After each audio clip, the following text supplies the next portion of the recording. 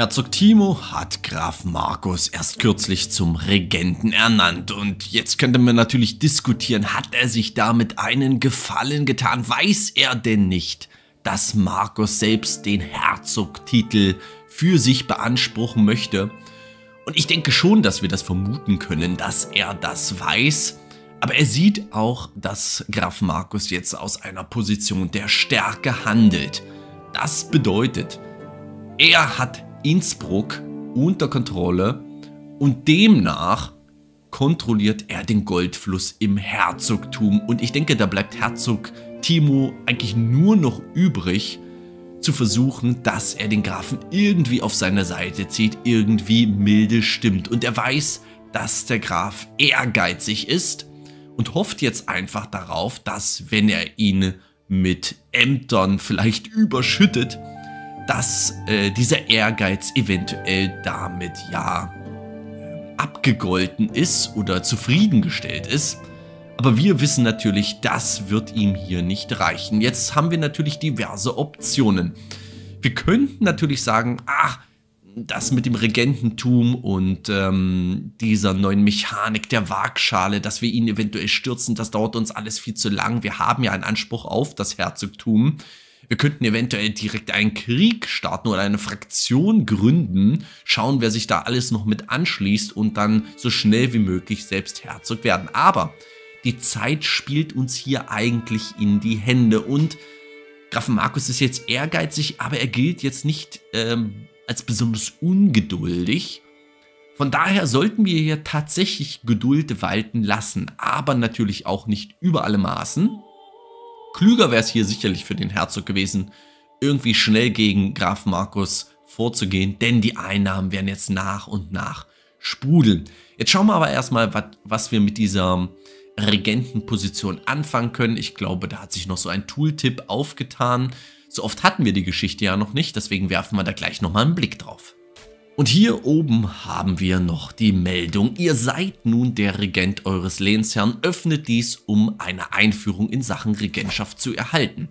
So, hier können wir natürlich diverse Sachen unternehmen und wir werden natürlich auch erst wirklich so richtig Regent, wenn der Lehnsherr irgendwie verreist, ja. Also hier steht es, sich aus irgendwelchen Anlässen halt außerhalb der eigentlichen Reichsgrenzen befindet ist es auch möglich, wenn der Lehnsherr eigentlich noch ein Kind ist oder wenn er tatsächlich hier untauglich wird, ja. So, wir schauen mal, was noch dabei steht. Wir müssen jetzt nicht alles durchschauen, aber wir können direkt einen Blick drauf werfen hier auf diese Waagschalen der Macht. Und je nachdem kann das ähm, ausschlagen in die ein oder andere Richtung. Und ich glaube, wir können das sogar aktiv angehen, ja. Was steht hier? Je mehr die Waagschalen euch begünstigen, desto mehr Leihmächte stehen euch zur Verfügung und es wird schwerer, die Regentschaft tatsächlich zu beenden.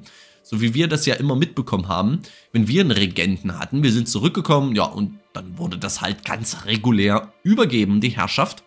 Aber das kann auch sein, dass man das halt nicht tut. Und wir sind jetzt hier der Regent und wenn das jetzt sehr doll ausschlägt, müssen wir die Herrschaft eventuell sogar gar nicht abgeben, ja.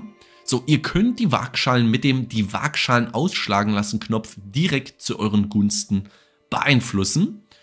Und jetzt ist natürlich die Frage, geht das hier so einfach, wenn wir da einfach äh, drauf klicken? Und hier zeigt allem im Reich, wer das Land wirklich regiert.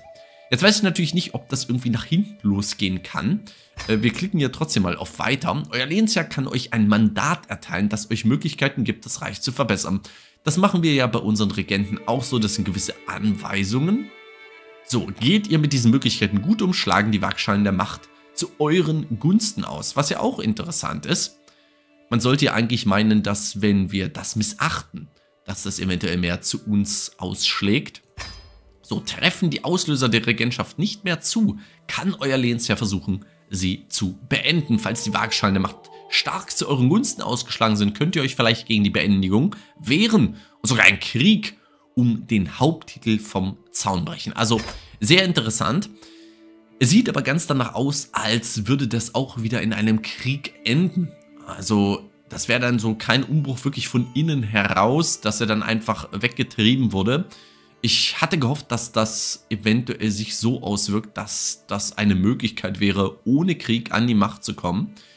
Ja, er hat ja eventuell auch noch einige Unterstützer im Herzogtum.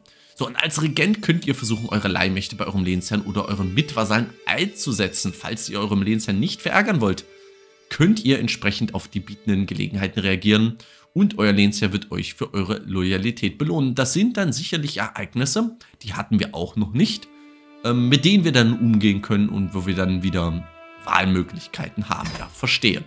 Okay, also das auch nochmal gut, dass wir das so ein bisschen durchgegangen sind. Nächster Punkt.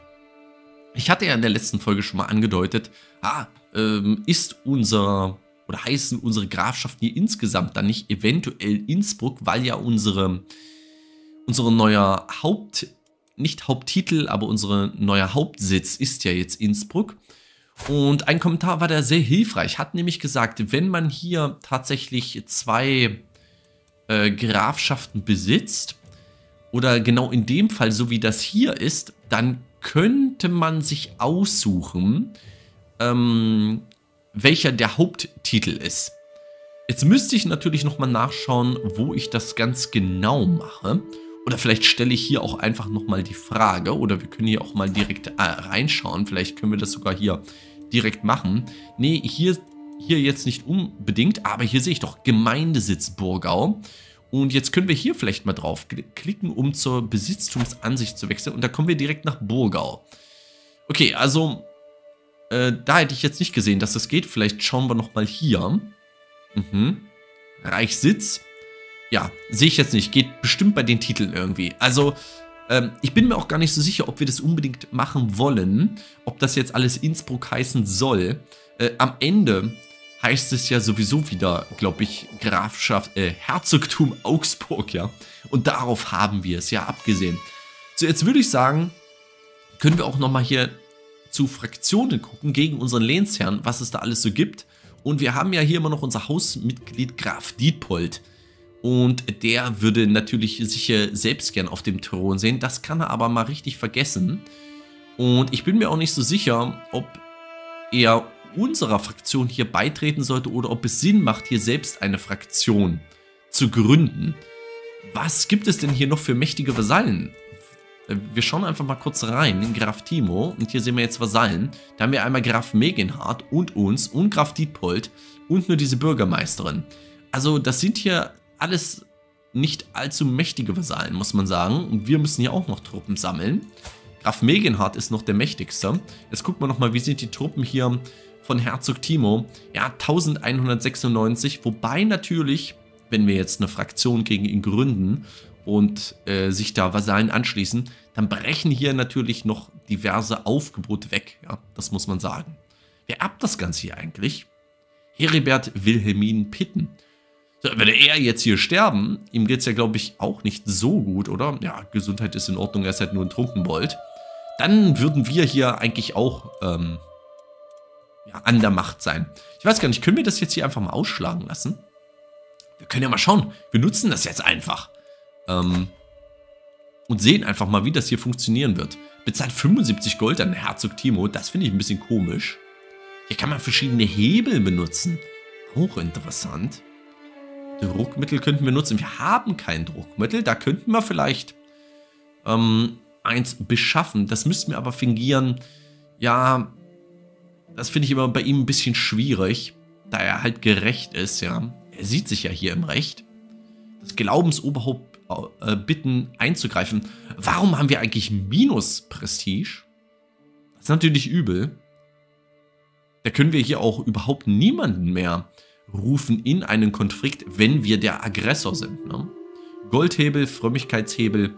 Okay, also das können wir hier nicht nutzen, da haben wir einfach zu wenig. Wir haben hier noch zu wenig Einfluss, so kann man das interpretieren. Okay, und die weitere Nachfolge hier. Ach, Graf Dietpold. Wer ist bei uns hier eigentlich Regent? Gucken wir nochmal rein. Ähm, unsere Gräfin.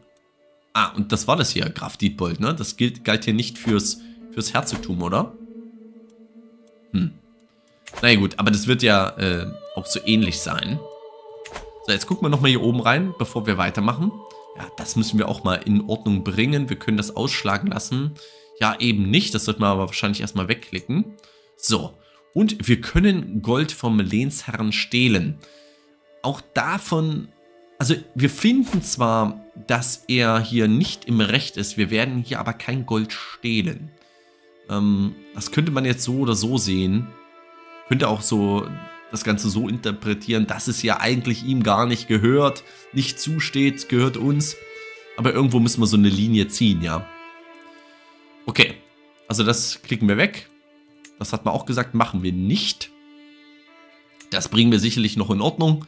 Ich denke, das wird allein schon äh, sich klären mit dem Suffraganbischof, wenn wir längere Zeit herrschen. Und jetzt werden wir hier erstmal weiter äh, die Kontrolle erhöhen und demnach auch die Einnahmen. So, Wernherr. Gelingen erstmals ein paar Schritte. Ich höre ein Tumult aus dem Gemach meines Nachwuchses, Wernherr. Ich eile hinein und sehe, wie die arme Elisabeth mit Wernherr spielt. Lehnsherr. Genau zur rechten Zeit. Werner hat gerade seinen ersten Schritt gemacht, ruft sie aufgeregt. Sie hält Werner an den Händen und versucht, ihn durch das Zimmer zu führen. So, jetzt können wir sagen, ein großer Schritt für ein Kind, ein kleiner Schritt für einen Herrscher.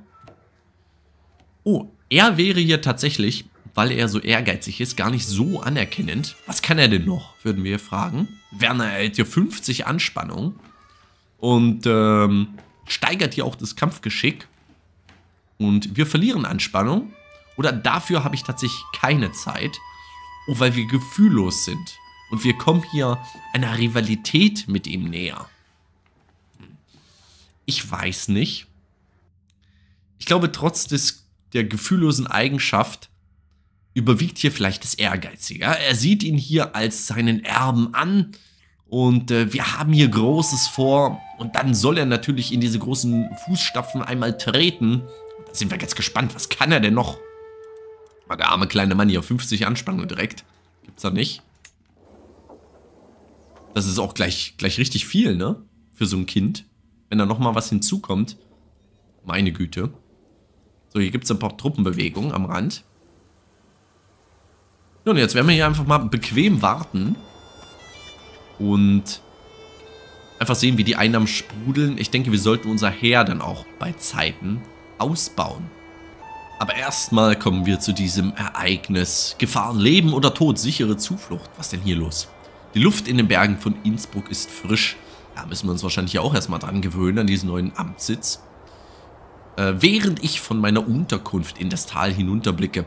Ich genieße den Temperaturunterschied und beobachte das Wild und ich feststelle eine Gruppe von Reisenden, die sich emsig ihren Weg durch das Tal bahnt. Als ich genauer hinsehe, erkenne ich, dass die Gruppe niemand Geringeres als Graf Enguerrand mit seinem Gefolge ist. Ich beobachte ihre Bewegung nur beiläufig, schaue aber instinktiv hin, als sich eine Gruppe Reiter rasch nähert. Was ist denn hier los? Sie zücken ihre Waffen. Die Reisenden werden eindeutig auf meinem Land überfallen. Was ist denn hier los? Moment, habe ich das jetzt richtig verstanden? Äh, ist er jetzt der Aggressor oder der, Überf der Überfallende? Hm. Das würde jeder gute Katholik tun. Graf Engrand wird sich daran erinnern. Ihr erhaltet 28 Anspannungen, weil ihr gefühllos seid. Rutger wird in der Schlacht verletzt. Ludfried, Bürgermeister Ottokar und Besitztum von Innsbruck erhält für 10 Jahre ge geopferte Aufgebote. Dieses Besitztum verteidigte einen Reisenden vor einem Angriff. Okay. Also er ist da durchgereist, ja. Und wir würden ihn hier verteidigen. So habe ich das jetzt verstanden. Weniger Aufgebote. Aufgebotverstärkungsrate geht aber rauf sichere Straßen. Diese Grafschaft hat außergewöhnlich sichere Straßen. Mehr Steuern. Gefahr geht auch runter. Oder das ist zu gefährlich. Ja, wir sind halt auch gerecht, ja. Aber ich würde auch sagen, schaut mal her. Wir versuchen ja hier die Kontrolle zu erhöhen. Hier so Banditentum, das ist das genaue Gegenteil. Also ich glaube, das hat hier weniger mit dem Katholiksein zu tun. Und wir halten ja trotzdem aber Anspannung weil wir gefühllos sind. Also das ist ein bisschen merkwürdig. Aber ich denke, aufgrund der Gefahrenlage auch, ja. Okay, schauen wir mal. Ritter verletzt. Die Banditen wissen gar nicht, wie ihnen geschieht. Ich führe unsere besten Kriege an die Schlacht vor Innsbruck und wir schneiden uns durch die Gegner wie durch Butter an einem heißen Sommertag. Graf Angrin beobachtet uns genauestens, während wir die Banditen bekämpfen und beruhigt, äh, beruhigt sich schließlich ein wenig, als klar wird, dass wir freundliche Absichten haben. Sobald die Angreifer die Flucht geschlagen wurden, kehre ich zu Angrin zurück, der sich in unserer Gegenwart nun wohler zu fühlen scheint. Mein Freund, ich danke euch, dass ihr uns in unserer Not geholfen habt, sagt er mit strahlendem Gesicht. So, die Grafschaft von Nanzig. Da können wir vielleicht auch nochmal hinschauen. Wo denn das hier? Mhm, Graf Enguerrand. 451. Buckliger, auch selbst ehrgeizig, unersättlich. Mhm. Werden wir hier irgendwie Freunde vielleicht? Erhöht eure Kriegsführung um eins. Und wir kommen einer Freundschaft mit ihm näher. Mhm. Okay. Ah, was ich hier auch nochmal schauen wollte. Erstmal schauen wir hier oder stellen mal runter. Das wurde auch noch in einem Kommentar erwähnt. Wollte ich eigentlich am Anfang der Folge machen. Aber wir haben hier diesen Radspitzel, der 14er ähm, Ränkespielwert hat. Das ist genau der, der jetzt hier verletzt wurde in diesem Scharmützel. Und es war aber so, dass die Frau hier, war sie das? Nee. Eine sehr gute Radspitzelin wäre. Ja, hier, Jutta, die Hoftutorin, hatte ich ganz übersehen. Die ist ja sowas von talentiert, dass wir die da direkt reinnehmen könnten. Aber er ist hier halt auch ein mächtiger Vasall von uns, ne? Sie ist auch gleich so rachsüchtig, zynisch, unersättlich. Also ein richtiger unangenehmer Charakter. Gehen wir trotzdem darauf? Würden wir hier Jutta einsetzen? Immerhin ist sie auch eingeschüchtert von uns. Das heißt, wir würden davon ausgehen, dass sie lo loyal ist. Mhm. Ja, müssten wir ihn hier rausschmeißen. Aber er kann jetzt auch nicht so viel gegen uns machen, potenziell. Aber ich denke, wir könnten ihn austauschen, oder? Wir können das ja jetzt hier vielleicht als Anlass nehmen. Einfach, weil er gerade verletzt ist, verwundet ist. Jetzt ruht euch gut aus. Für immer. Und er möchte einen Sitz im Rat. Der, der mag das hier überhaupt nicht. Wir machen das aber trotzdem. Und haben sie jetzt hier als Ratsspitzel und Hoftutorin. Mein Gott. Schon ein einschüchternder Anblick. Hoffentlich auch für unsere Feinde. Okay, also das nochmal geklärt, ja. Also ich denke, er hat da schon einen Blick dafür, dass sie da ein Talent hat, ein außerordentliches Talent. Und da sollten wir das, denke ich, auch nutzen. Wenn das jetzt nur so eine knappe Entscheidung gewesen wäre, so leichter Unterschied, dann hätten wir den Wechsel eventuell nicht vorgenommen. Okay, so, jetzt gucke ich aber trotzdem noch mal in Rat rein. Wäre der andere denn hier ein besserer Verwalter? Ja, dann können wir doch hier Hartwig rausschmeißen. Der ist sowieso nicht so talentiert. Okay, ich hoffe, der ist dann jetzt nicht gleich wieder wütend. Dann haben wir hier den besseren. Ja, jetzt haben wir doch den besseren Tausch hier gemacht. Und hier muss man ja durchaus öfter mal aktiv werden als Ratspitzel, als Ratsverwalter. Kann er sich jetzt hier am Schreibtisch äh, ausruhen, seine Verwundung, ähm, ja, sich einfach erholen und trotzdem seinen Diensten nachgehen. Okay. So, und jetzt sind wir hier schon bei Einnahmen von über plus 1, das ist schön. Und bemerkenswerter Gast ist hier eingetroffen, Adalbert von Egisheim. Das ist ja aber wirklich hier ein bemerkenswerter hoher Kriegsführungswert. Er sieht auch richtig zornig aus. Er ist auch zornig. Zornig und faul. Gucken wir wieder in den Rat rein. Mhm. Ich meine, ein fähigerer Mann wäre hier schon sehr gut. Der würde auch schneller die Kontrolle hier hochbringen. Andererseits hat sich Rutger hier auch bewährt. Es ist natürlich die Frage, der ist auch schon ein bisschen älter. 37 hier, 49. Wenn wir den rekrutieren würden. Oh, das wäre 140 Gold. Das ist auch einfach zu viel. Das machen wir dann nicht. Trotzdem natürlich interessant, dass er hier eingetroffen ist. Ja, und jetzt sollten wir überlegen, denke ich, dass wir hier Kriegsvolk-Regimenter auch erschaffen. Wir können auch noch mal schauen, ob wir hier irgendwas weiter ausbauen können. Die Schwarzbergbausiedlung, würde das hier irgendwie gehen? Ein Donjon braucht man und 582 Gold. Oh, das sind ja... Das ist viel. Hier könnte man noch andere Gebäude errichten, auch Fürstengebäude, aber die sind auch sehr teuer, ja. Nächste Stufe hiervon bräuchte man auch wieder einen Donjon. Okay. Na gut, also Kriegsvolk Regimenter. Und ich denke, was würde gut passen? Äh, leichtes Fußvolk finde ich eigentlich immer ganz passend, weil wir hier auch ähm, Gebirge direkt haben. Das würde uns im Defensivfall hier auch helfen. Und dann irgendwie so eine Zusammenstellung leichtes Fußvolk, Bogenkämpfer und Nager. Belagerungsgerät braucht man halt auch immer. Das ist halt immer ärgerlich, wenn man das nicht hat, ja. Ein bisschen normales Kriegsvolk wäre halt auch gut. Ich denke, wir starten jetzt einfach mal mit leichtem Kriegsvolk. Ähm, da sind wir jetzt erstmal ein bisschen wehrhafter. Wenn das jetzt hier ausgebaut ist, Oh, jetzt im Lehnsjahr wurde ja der Krieg erklärt. König Blasi wird von Herzog Rizzo angegriffen. Das ist doch hier ein Nachkomme von Prinz Arnulf. Gucken wir mal, was der Kriegsgrund ist. Ähm, genau, und die müssen wir jetzt auch noch stationieren. Wo kann man die denn hinstellen? Direkt in Innsbruck. Ja, ne? Machen wir.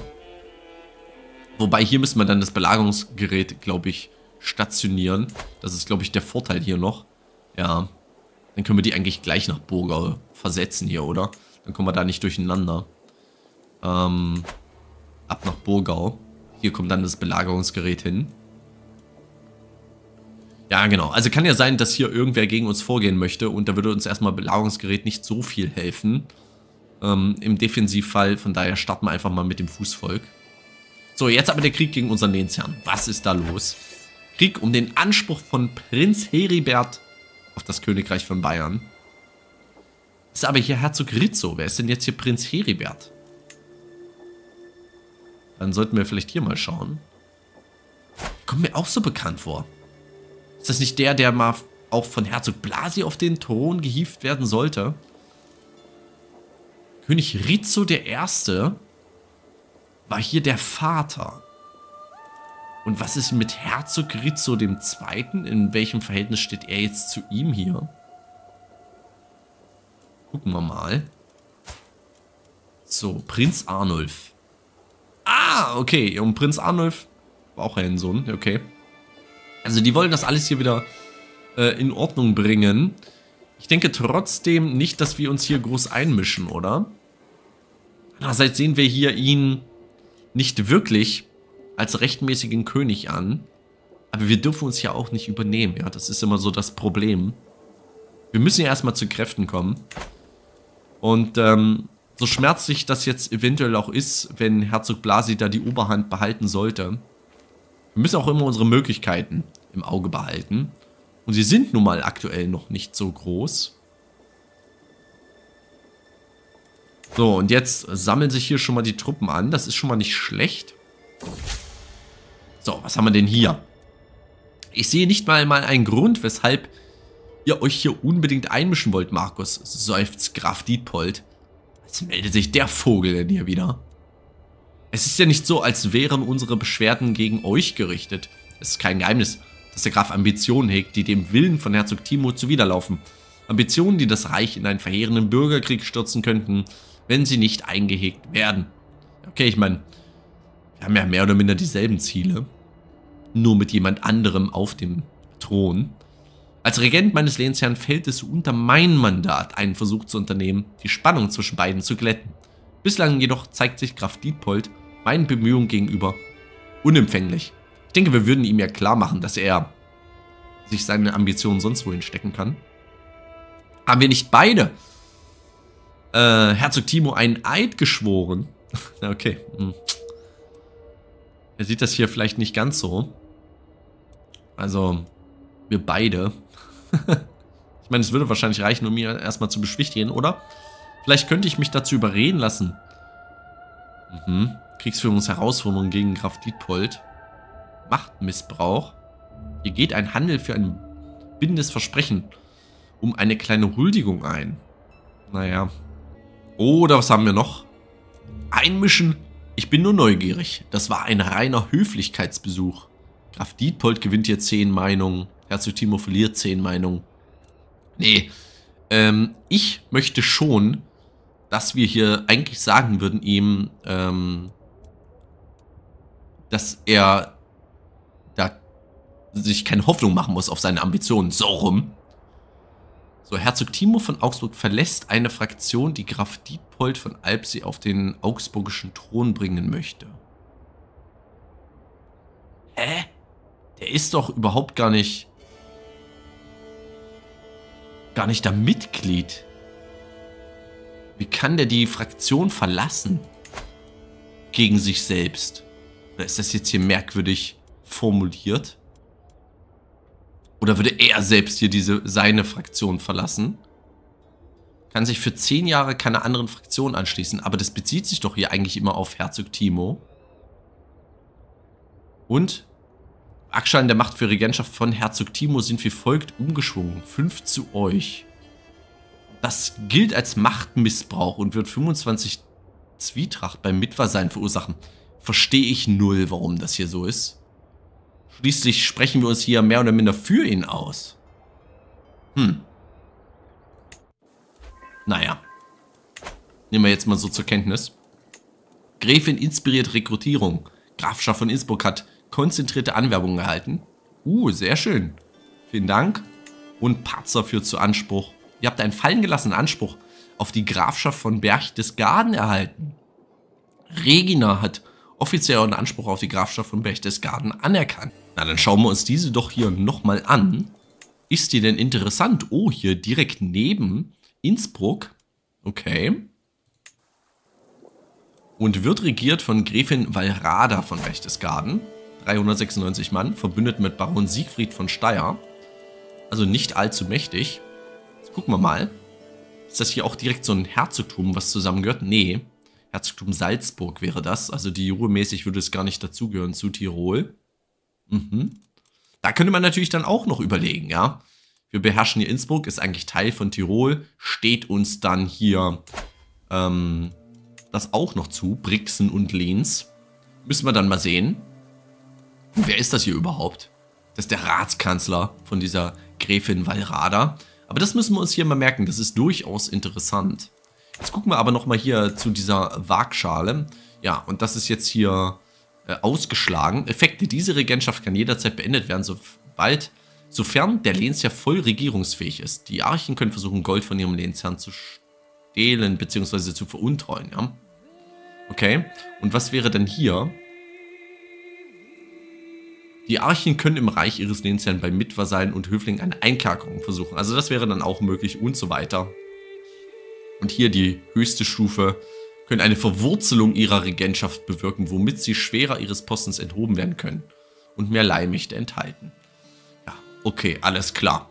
Aber ich denke, wir können ja im, im Zweifelsfall hier sowieso eine Fraktion erschaffen gegen den äh, Herzog. Ich glaube, wir könnten ihm sogar hier direkt den Krieg erklären. Unabhängigkeitskrieg oder hier um das gesamte Herzogtum. Da bräuchten wir aber sowieso hier wieder Prestige. Dazu müssen wir dann halt auch erstmal noch wieder kommen.